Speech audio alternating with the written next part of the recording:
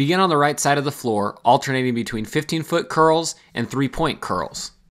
Feel free to shoot from different spots on the right side of the floor. For optimal arc, make sure your shooting elbow is above your eye on your follow through.